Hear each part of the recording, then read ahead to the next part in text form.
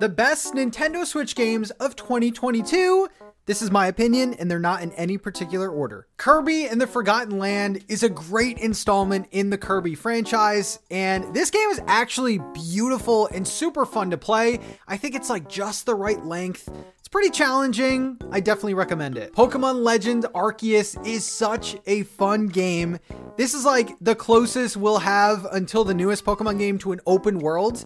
But man, this is super fun. I don't even mind the trees anymore, but catching shinies and the storyline's actually pretty good too. And finally, Splatoon 3. This game just came out, but it's super addicting.